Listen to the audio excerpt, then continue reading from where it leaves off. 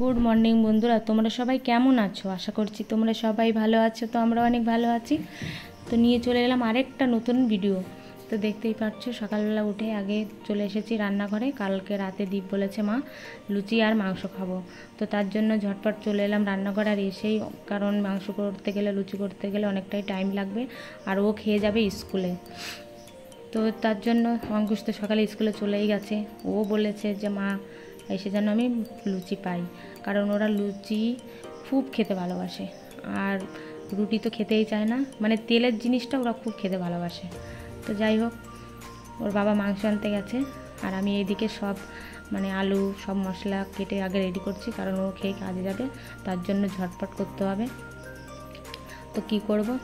আগে এইদিকে প্রায় চলে, বাড়ি চলেও এসেছে। তা আমি এদিকে মানে মশলাটা করে তাড়াতাড়ি আবার মাংসটা তাড়াতাড়ি বসাচ্ছি। কারণ খেয়েও কাজে যাবে দীপও স্কুলে যাবে অঙ্কুশও চলে আসবে, এসেই শুধু খাওয়ার জন্য বায়না করবে।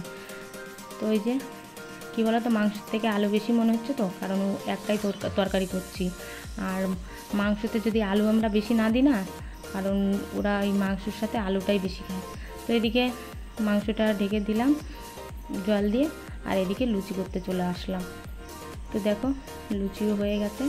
আর ওইদিকে ময়দা মেখে আমি ঢেকে রেখেছিলাম। তাহলে ময়দাটা একটু মেখে রাখলে না নরমও হবে।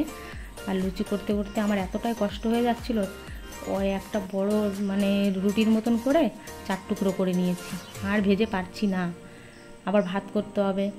তার জন্য এই তাড়াতাড়ি করে এই একটা লুচি, বড় একটা করে চার টুকরো করে নিলাম। দেখো কি সুন্দর ফুলেছে, আর দেখতেও কি ভালো লাগছে। দীপ বলছে, মা, আমি এইটাই খাব। বলছি, ঠিক আছে, তোকে এইটাই দেবো। তো ওই খাওয়ার জন্য এসে দাঁড়িয়ে রয়েছে। কখন মাংস হবে, কখন লুচি হবে, আর ও, এর মধ্যে কষা মাংস নিয়ে গেছে দুই পিস নিয়ে খাওয়া হয়ে গেছে তো দেখো, আমার মাংসের আলু গলেও এসেছে। সুন্দর, তো আমি গরম মশলা দিয়ে দিলাম। তো ঝোলটা একটু পাতলাই রাখব, কারণ রাত পর্যন্ত খেতে হবে। তো রান্না আমার কমপ্লিট আর তাড়াতাড়ি দিতে খেতে দিচ্ছি। কারণ ও যাবে খেয়ে স্কুলে এই গরম তরকারি, তাও দিতে হচ্ছে, কিন্তু কিছু করার নেই। তো তাড়াতাড়ি খেয়ে না গেলে ওই বাস পাবে না স্কুল বাসটা চলে যাবে। তো কি করব? তার মধ্যে আবার চলে গেল অঙ্কুশকে আনতে সঞ্জয়। তো দেখো, বাজারে গেছিল, আসার সময় করমোচা নিয়ে এসছে। তো ওদেরকে দেখালাম। আর এই যে এসেই দেখো, দুষ্টুমি শুরু। ও কাজ আমার সব বাড়িয়ে রাখে, একটা গুছায় আর একটা অগুছানো করে। সারাটা দিন এই চলতে থাকে। তো ওদেরকে খাইয়ে সব কমপ্লিট করে রেখে তারপর আমি ঠাকুর ঘরে গেলাম। তো দেখো, একটা তুলসী গাছ না আমি জল ঢালি, আর বারবার নিয়ে আসতে হয় বলে একটা ছোট তুলসী গাছ আবার একটা টপে বসালাম। তো যাতে ঠাকুর ঘরে আমি নিয়ে আসতে পারি সব সময় থাকে। তো দেখো কি সুন্দর লাগছে। তো আমার এই ঠাকুর ঘরটা না অনেকটা আমার শখের ছিল আমার শাশুড়ির, কিন্তু উনি থাকাকালীন এই ঠাকুর ঘরটা আমরা তৈরি করতে পারিনি।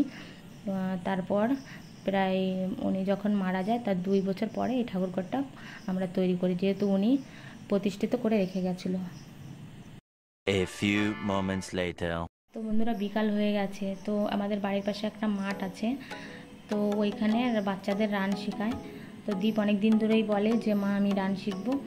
তো আমি মানে সেইভাবে সময় হয়ে ওঠে না, তার জন্য আসতেও পারি না। আর সঞ্জয় আজকে বাড়ি কাছ থেকে তাড়াতাড়ি বাড়ি আসলো। আর দীপও চলে এসেছে, তো ভাবলাম যে যাই, আজকেই যাই। তো আমরা তিনজনই যাচ্ছি আর অঙ্কুশকে পড়তে দিয়ে এসেছি। তো এই যে, দেখি যে না, সব গার্জেনরাও আছে মানে সব বাচ্চারা দৌড়াচ্ছে আর গার্জেনরা বসে আছে। তো আমরা প্রথমবারই আসলাম এই মাঠে। মানে বেশি দূর না আমার বাড়ির থেকে, কিন্তু তবুও আমার আসা হয় না। এখানে ফুটবল খেলাও হয়। দীপ মাঝে মাঝে আসে আর ও বাড়ি গিয়ে শুধু বলে। তো সত্যি কথা বলে কি বিকেলবেলার দিকে এত ভালো লাগছে? তো দেখো বাচ্চারা সব রান করছে আর ওই যে এখানে মাস্টার শেখায়, উনি দাঁড়িয়ে আছে। মাঠটা কিন্তু অনেকটাই বড়। আমার ইচ্ছা ছিল ওই পিছনে একটা মানে একটা ঠাকুরের মন্দির মতো আছে, ওইখানে আমি যাব। কিন্তু যেহেতু ওই কাদা হয়েছে মানে বৃষ্টি হয়েছে তো, এই জন্য মাঠটা কেমন যেন হয়ে গেছে, ওই জন্য আমি যাইনি। আর এই চারিদিকের ভিউটা একটু দেখাচ্ছি কেন, আমার খুব ভালো লাগছে। আর এই যে দীপবাবু বসে আছে, তো যাই হোক, তারপর আমি এই যে সব কথা আমরা বলে বাড়ি চলে এসেছি। তো বন্ধুরা, বাড়ি এসে এই যে জামা কাপড় সব মেলা ছিল, তাড়াতাড়ি চলে আসলাম। অনেকক্ষণ থাকার ইচ্ছা ছিল কিন্তু তাড়াতাড়ি চলে আসলাম। এসে যে সব জামা কাপড় মেলা রয়েছে, আবার যদি বৃষ্টি আসে। তো বন্ধুরা ভিডিওটা বেশি বাড়ালাম না।